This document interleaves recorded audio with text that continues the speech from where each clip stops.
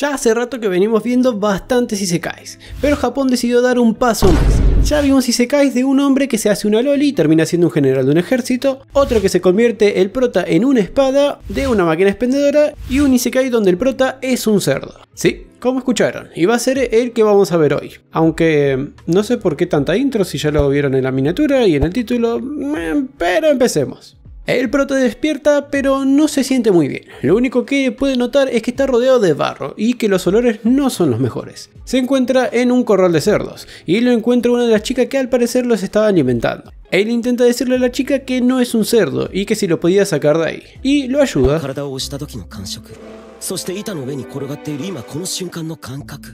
El prota se ve que era un universitario que no sabía cómo había terminado ahí, y analizando la situación se da cuenta que...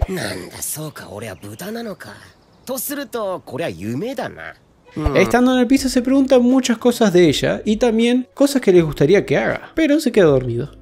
Al rato se despierta en una habitación normal y la chica vuelve a aparecer. Él no entiende qué estaba pasando. Baja de la cama, camina un poco y... ¿Eh? Sí, no era un sueño, se había despertado en otro mundo y para colmo en un cerdo. Para que se puedan comunicar, ella le lee la mente, ya que es un Yesma, que se llamaba Yes. ¿Y qué es un Yesma? se preguntará. Son una raza de sirvientes con un collar de plata y que al parecer pueden leer la mente con eso. Ella le pregunta de dónde era y él le contesta... I am from Tokyo, Japan. Nice to meet you, No entiendo la necesidad del inglés, pero reconoce Jess que no era de ese reino, bueno, de ese mundo en general. Ya que él no era de ahí, Jess le explica un poco del reino. Él estaba en Mesteria, donde era gobernado por un mago. Ellos ahora se encontraban al sur de Mesteria. Cada cosa que el prota pensara, ella lo hacía. Y con eso empezó a pensar cosas medias raras. Ay, ¿qué estoy viendo? Bueno, siguiendo con lo interesante de este anime, Jess, mientras van a hacer unas tareas, le explica que en ese mundo hay unas ristas, o bueno, unas piedras mágicas que dependiendo del color va a tener un uso distinto. Estas ristas eran creadas por magos. Eran bastante raras en ese mundo. Entre esas ristas había una que era la negra, que respondía a las plegarias de la persona. Bueno, y seguimos con la parte que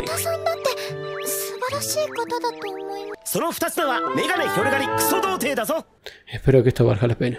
El prota llegó a preguntar algo bastante curioso, que si la gente en ese mundo generalmente se podían llegar a convertir en animales. Pero Jess le contesta que no, pero que hace un siglo hubo una guerra de magos donde ellos solían convertir a los humanos en animales. Y el único mago que preservaba el linaje desde esa era era el mismísimo rey, a lo que hace pensar que él puede llegar a ayudarlo, a que él vuelva a ser un humano.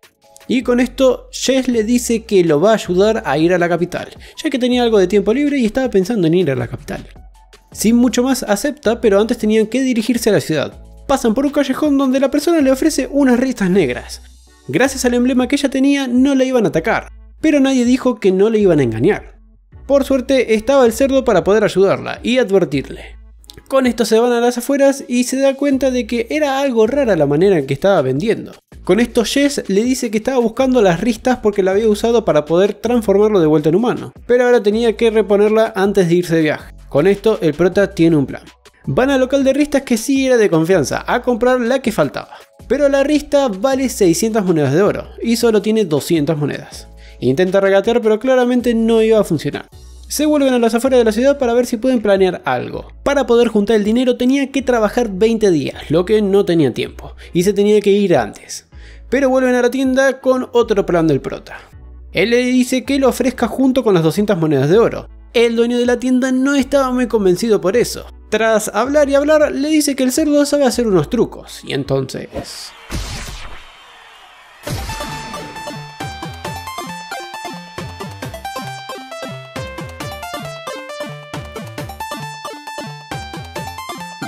Sí, ya con esto el viejo acepta, ya que el viejo iba a tener un puesto en el festival y con el cerdo iba a ganar mucho dinero. De paso ella propone ayudarle trabajando en el festival, para poder ayudar a escapar al prota.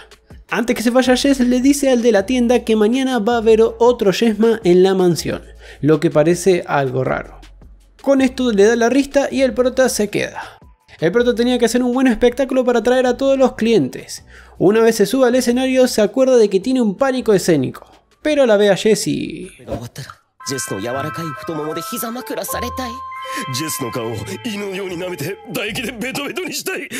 Bueno, ya con esto se pone a bailar. Pero justo cuando termina, vuela y... Sí, con la caída se golpea la pierna y con esto no va a ser de ayuda para escapar. Ya como era muy tarde, el de la tienda le dice a Jess que vuelva a la mansión. Ella no muy convencida lo hace y se va. Mientras el prota se queda bailando para la gente y cada vez que haga bailar a una persona, esa persona se va a tener que tomar un trago. Así dejó a todos borrachos y se pudo escapar. Cuando él se estaba yendo para ver a Jess...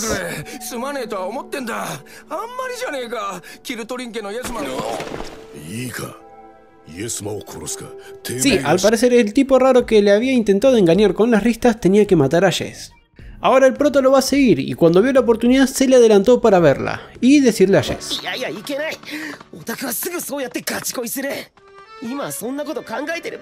Llega al lugar y le cuenta que la estaban buscando. El prota piensa en un plan ya que si escapaban, ese hombre igualmente los iba a seguir. Empieza su plan, lo traen con una fogata y Jess se va por un cobertizo que estaba a un costado. Ya estaba todo listo, se mete el cerdo y el malo lo sigue. Entonces... Pero el malo no se iba a quedar de brazos cruzados, le pega con la bolsa y el prota lo noquea. También se lleva la bolsa, pero...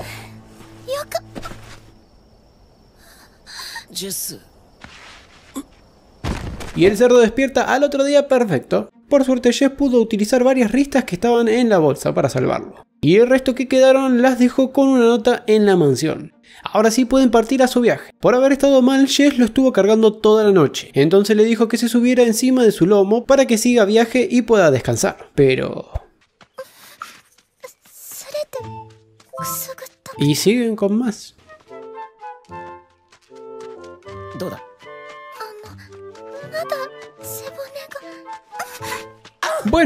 ya ahora sí no va a pasar nada raro. ¡Ay, qué es eso! ¡Qué bicho más feo! Pero por lo que dice Jess, es una criatura llamada Henry que están desde la era oscura y que eran inofensivos, solo se quedan viendo a la distancia. Viajando, Jess es sincera con el prota, ya que le dice que el destino de los Yesma en realidad estaban en un viaje sin retorno y que tenían que hacerlo o morir, ya que los Yesma a partir de que cumplen 16 años se tienen que ir hasta la capital caminando y sobreviviendo de los cazadores y monstruos que hay por el camino, principalmente de los cazadores, porque tienen un alto valor todos sus órganos y su collar. Sí, nos preguntamos lo mismo. Pero el prota no se iba a alejar de Jess y la va a ayudar a ir a la capital. Siguen el camino, Jess se duerme y llegan a un pueblo. Para que se pueda mover con libertad, se tiene que elegir un pañuelo para poder pasar desapercibida por el pueblo.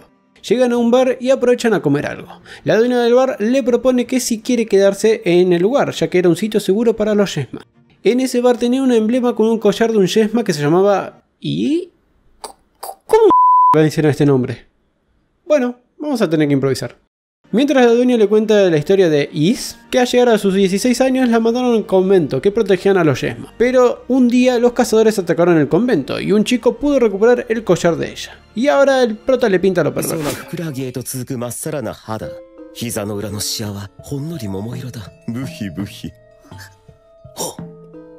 Jess le pidió si podía visitar a las ruinas del convento ya que quería llevar unas flores.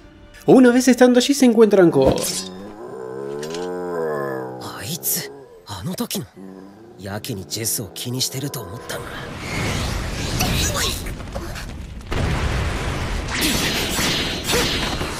Pero por suerte no iba para ella, sino para el bicho raro ese. Ceres se conocía con el caballero, y se llamaba Not. No dio su mejor primera impresión, pero le regaló un pañuelo para que no pueda llegar a destacar. Con esto dejó las flores y volvieron al pueblo.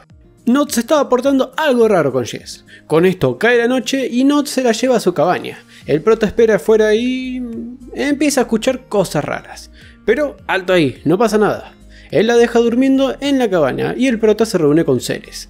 Ya que ella quería hablar, Ceres le cuenta de que estaba enamorada de Not, pero ella sabía de que Not se iba a ofrecer como Chambirón para llevar a Jess a la capital, ya que se parecía mucho a Is, el primer amor de Not. Ahora esto se hizo un poco de la Rosa de Guadalupe de repente. Y te preguntarás, ¿qué es un chambirón? Bueno, es...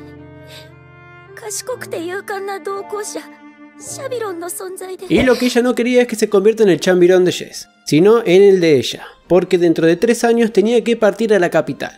El cerdo le da unos consejos y piensa en un plan para el otro día. A la mañana siguiente se reúnen en el bar para hablar los tres, bueno, en realidad los cuatro, ya que le revela la identidad del cerdo. La excusa de Ceres es que Jess ya tenía un chavirón, y era el cerdo, pero el prota le dice... Sí, lo hace porque es verdad, puede serles alguien muy útil para llevar a Jess a la capital. Entre discusiones y todo, termina que Nod le hizo una promesa a Ceres que va a volver para hacer su chavirón y que Nod va a acompañar a Jess y al cerdo a la capital. Bueno, con esto siguen el viaje y Nod no iba a hacer el viaje solo, sino que lo acompañaba Rossi. Con las estimaciones de Nod tendrían que llegar en 5 días a la capital, y pensó en todos los lugares que tienen que pasar y en dónde sería peligroso. Llegando a la tarde llegan a su primera parada, donde se encuentran un lugar para quedarse y durante la noche al parecer Jess no podía dormir, pero porque estaba escuchando algo que no la dejaba dormir. Pero el prota no lo escuchaba y entonces Jess le transmite lo que oye. Alguien estaba pidiendo por ayuda y ella no lo iba a dejar pasar. El prota esto no le convence mucho pero se despierta a Not y le hacen escuchar el mensaje y se va inmediatamente. Se van juntos y en el camino el prota les advierte que podía llegar a ser una trampa. Jesse dio un plan quedándose por afuera de la iglesia, hasta que salió el malo y...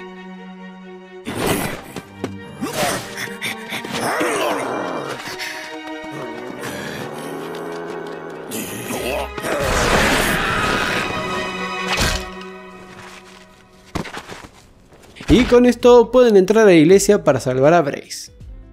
Llegan al sótano de la iglesia donde había sangre y otras cosas más. Y allí encuentran a Brace rezándole una estatua, y Not rompe la reja para liberar. Atan a los malos y notifican a la realeza. La chica que se encontraba allí, que se llamaba Brace, también está en el viaje para llegar a la capital. Ahora se les une a su viaje y en un momento cuando llegan a un campo hablan de...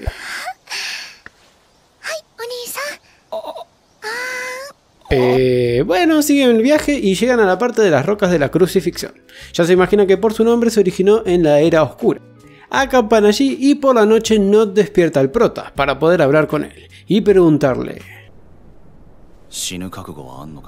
Eso lo decía más que nada porque ahora tenían que enfrentar a cosas cada vez más peligrosas y para poder seguir Not le da una herramienta al prota. Le da unos brazaletes que controlan el agua y también la congelan. Al otro día siguen su camino y Brace sigue sin decir una palabra. Solo se dedica a rezar, ya que en su pasado le habían dicho que esa era una forma de perseguir sus deseos o algo así. Llegaron a la última parada y allí también tenían un emblema de los Yesma, pero el collar estaba más oscuro que los otros, y eso representaba que había gente con malas intenciones cerca. Con esto preparan la última cena, ya que en el día siguiente, bueno, va a ser el último. Brace en esta no los acompaña y se va al cuarto. Se quedan hablando un rato pero después todos se van a dormir. Brace interrumpe al prota para salir a hablar con él. Ahora Brace le pregunta sobre el mundo del prota. Preguntas como...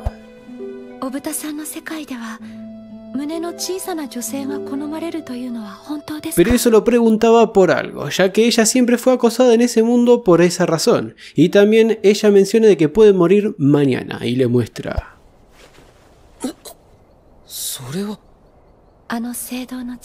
Sí, a ella le habían sacado los órganos antes que pudieran llegar a salvarla, a lo que no le quedaba mucho tiempo. Y le dice al prota que priorice por la vida de Jess antes que la vida de ella. Y que también si llegaba a morir, si podría llevarla a su mundo. Toda esta situación lo vio Not a lo lejos. Hablando un rato más con Brace, le plantea de que no hay forma física de subir a la capital. Y como nadie pudo volver para contarlo, solo se originó una creencia, que tenían que apelar al rey. ¿Cómo iban a hacer? No sé, pero bueno, vamos a ver el otro día. Not hace los preparativos de antes de ir al bosque, pero el prota lo deja sin armadura, por una razón, que pase desapercibido. Y le da a Jess unas bolas que las va a usar más adelante. En el camino se encuentra Empieza la pelea con los malos y también el bajón de calidad del anime. Ay no, miren al lobo, no me voy a poder tomar en serio esta pelea. Los malos llegan y se dan cuenta de que estaban escondiendo a un Yesma, y con esto Brace se entrega, haciéndose pasar por Jess. Y con esto también llega el jefe, que lo habíamos visto antes en varias oportunidades. Y Not le conocía por el secuestro de Is. Not crea un plan con el prota y lo hacen al instante. El cerdo hace una pared de agua y Not se logra liberar del ninja, y se esconden. Ahí el malo... Bueno. El mal intenta provocar a Not y lo logra. Empiezan a pelear tirando bolas de fuego mientras que el prota busca la forma de tirar un árbol para salvar a Brace. Pero el enemigo logra darse cuenta.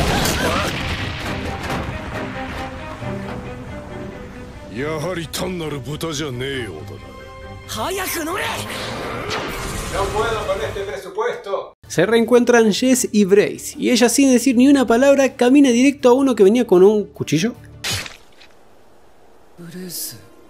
Sí, no digan nada, pensaban lo mismo. Para cambiar el sentimiento los dejo con este plano. Ay, no, no, no. Bueno, con esto obviamente Brace, mm, bueno, no se queda peleando con el jefe de los malos, y ellos siguen su camino. Llegan a la base de la capital pero no había forma de subir. Buscan, buscan y buscan hasta que se les hace de noche. Pero los atacan unos cazadores de yema. Y usan las bolas que les dio Not. Una de ellas hacía una explosión, otra los escondía y la última hacía ruido que atraía a los lobos. Empiezan un plan que hacen explotar a los malos y se esconden mientras está el llamado de los lobos, por si había más cazadores. Se quedan así hasta que los lobos se van y ya casi que está amaneciendo. Sin respuesta de cómo subir, el prota se pregunta algo. Los Harry Pom no hacían nada, solo se dedicaban a ver. Y ellos estaban en la base rodeados por esos bichos. Entonces el prota recuerda de lo que dijo Brace y le dice a Jess que haga.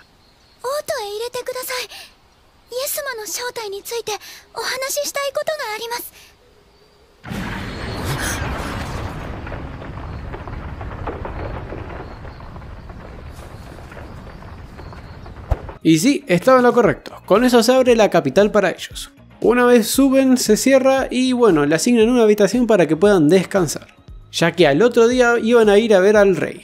Se bañan y duermen juntos y con esto llega el otro día para el almuerzo con el rey, donde él les iba a contestar muchas preguntas y la primera era si podía volver el prota a ser humano. Y él le contestó que sí, pero para eso tendrían que matarlo y aparecería en el otro mundo como humano.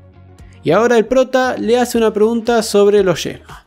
Y sí, la conclusión que había sacado no estaba tan lejos a la de la realidad. Los Yesma eran magos reprimidos por el collar. Eso lo hacen porque es una forma de castigo para que los magos no sean egocéntricos, la cual fue la primera razón de la guerra de la era oscura. Esa era la única forma de estabilizar la sociedad. Claramente ese plan de ciudad no era el mejor porque tenía muchas cosas que eran injustas como también que no había Jess más hombres, ya que apenas detectaban a un varón lo mataban. Ese era el plan del rey para que haya paz y no lo iba a cambiar en unos cuantos años más. Ahora Jess y el prota se van afuera para poder hablar. Y Jess le cuenta la verdad, que ella le venía escondiendo ya hace bastante tiempo. Ella lo había invocado con la primera rista negra que utilizó, para poder viajar acompañado de alguien. Y con esto termina el anime porque ya pasaron más de dos semanas, bueno, o tres, y todavía no tienen el último episodio. Así que lamentablemente este resumen va a estar incompleto. Si les gustó y está en un futuro, espero no muy lejano, el último episodio, véanlo. Y si les gustó el video, dejen su likeazo y suscríbanse, para que no les aparezca un Harry Pon esta noche. Y con esto, hasta la próxima.